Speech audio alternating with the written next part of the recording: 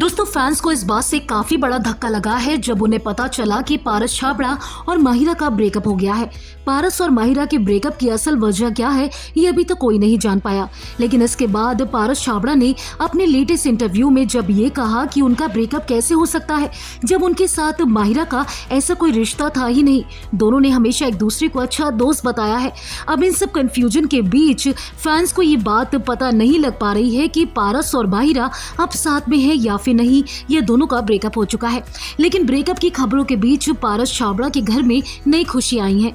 जी हाँ दोस्तों ब्रेकअप की खबरों के बीच पारस छाबड़ा ने वृंदावन में एक नया घर खरीदा है, जिसका सपना उन्होंने काफ़ी पहले देखा था। महिला के साथ अपने ब्रेकअप की खबरों के बीच पारस छाबड़ा ने वृंदावन में अपना सपनों का घर खरीद लिया है और इसके साथ ही इंस्टाग्राम पर अपने गृह प्रवेश की कुछ फ़ोटोज़ को शेयर भी किया है। पारस ने कई दफ़ा इंटरव्यू में इस बात का खुलासा किया कि वो हमेशा से अपनी माँ के लिए वृंदावन में एक घर खरीदना चाहते थे और उनका ये सपना हकीकत में बदल भी गया। एक्टर ने अपने नए घर और गृह प्रवेश की झलकियाँ सोशल मीडिया पर फैंस के साथ शेयर की है। पारस छाबड़ा ने अपनी इंस्टाग्राम स्टोरीज पर गृह प्रवेश की फ़ोटोज़ को शेयर किया। एक फ़ोटो में एक्टर मंदिर के सामने पोज दे रहे हैं। तो दूसरी फ़ोटो में पारस की माँ ब्लू कलर के सोफे पर अपनी एक दोस्त के साथ बैठी नज़र आ रही है, जबकि एक फ़ोटो में पंडित जी गृह पूजा करते नज़र आ रहे हैं। पारस छाबड़ा के लिए दिन बेहद खास है, क्योंकि इस दिन का पारस लंबे टाइम से इंतज़ार कर रहे थे।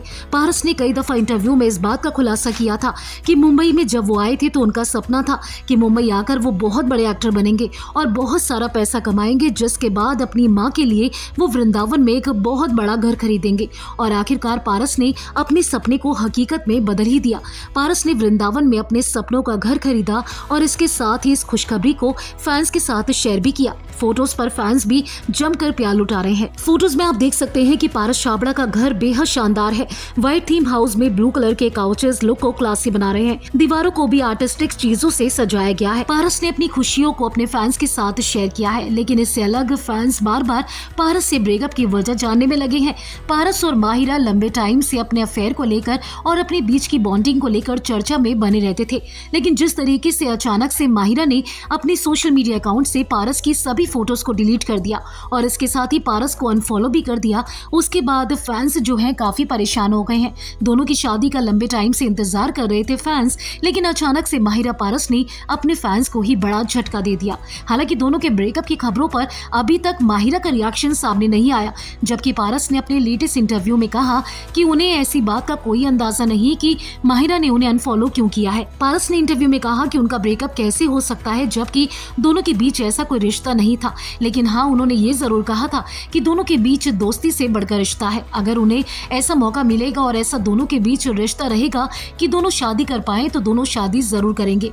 लेकिन शादी से पहले ही दोनों का ब्रेकअप हो गया, जिसके बाद फैंस काफ़ी निराश हैं। ब्रेकअप की खबरों के बीच पारस ने जिस तरीके से अपने सपनों का घर खरीदा है, उस पर क्या है आपकी राय? जल्दी से हमारे कमेंट सेक्शन में आकर बताएँ। इसके साथ ही, अगर आपने फिल्मी बीट को अभी तक सब्सक्राइब नहीं किया तो कर लीजिए। आप हमारे ये वीडियो फेसबुक पेज पर देख रहे हैं तो उसे भी लाइक कीजिए।